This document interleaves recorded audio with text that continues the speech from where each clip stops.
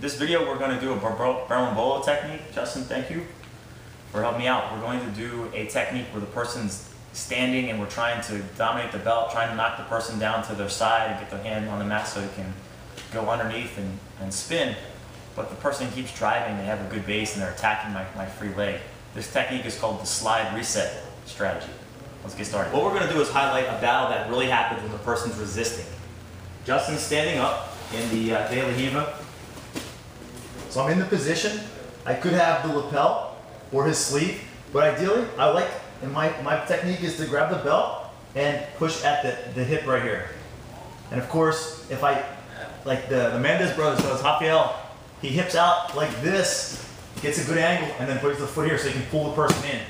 Lift up and then turn the person to the mat. So when, when you're here, this is the great battle to win. When you can get the person's hip on the mat, then you can make the position. You can go inverted.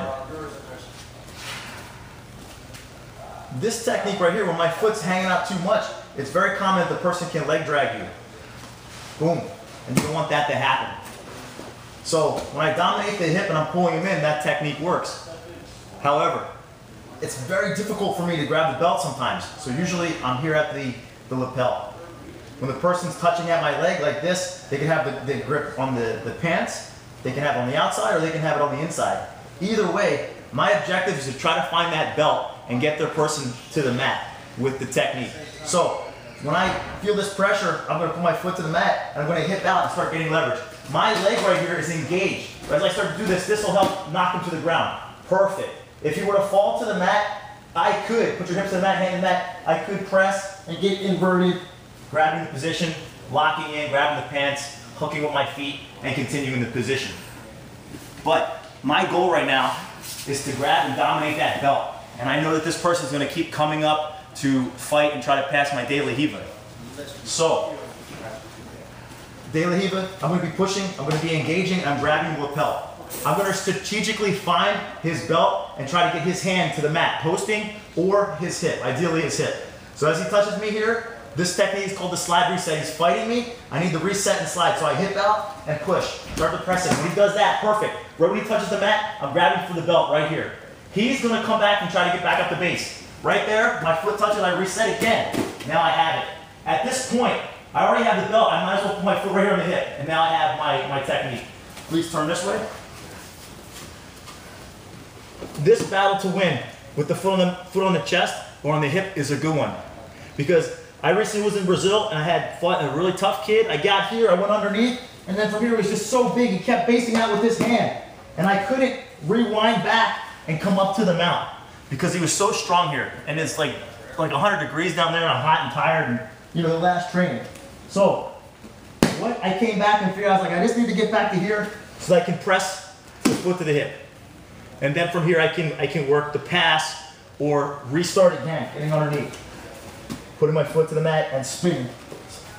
So this is an ideal win.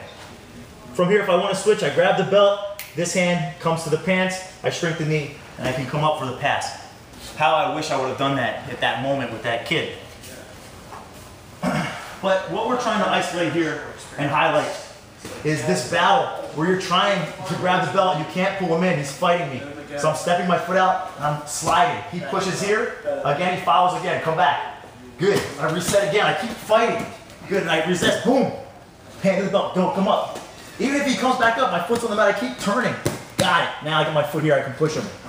All right. Turn around. This is a great technique. So, re-slide. Really, really start moving your hip over the, the ankle, hooking the leg. And really push, push your foot, get him down. Once he touches the mat, grab the belt. Sit up again. If he can stand up at all. Because once I'm pushing that foot into the hip, it's going to be really tough for him. As I'm holding the belt. Now, if I want to invert, I bring my foot to the mat with the toes. I come up and roll. Good. Come on my toes and roll. Find the position. My hand grabs for the pants or the ankle. I'm grabbing the belt. I like to pull him in that position.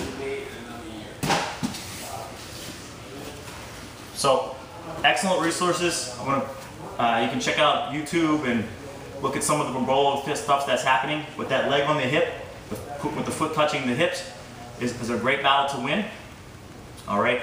And uh, I really have a hard time. I don't like when people try to leg drag me. So I take my foot to the mat, and every time they, they come to face me, I keep sliding, and I they reset, I slide, slide, reset, and try to win the battles to get to the belt, get the personal um, posting on the mat so you can get inverted.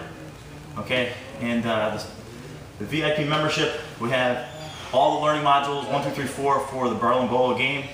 Um, for also, there's the DVD that's uh, selling through the different distributors, the Bolo game, uh, the Tony Pacenski Berlin Bolo game. So check those things out. They're great resources. And techniques like this, the innovations that keep coming, we're just going to start isolating, and as uh, techniques improve, uh, more information will come. All right. Thanks very much. Thank you, Justin. Thank you for watching.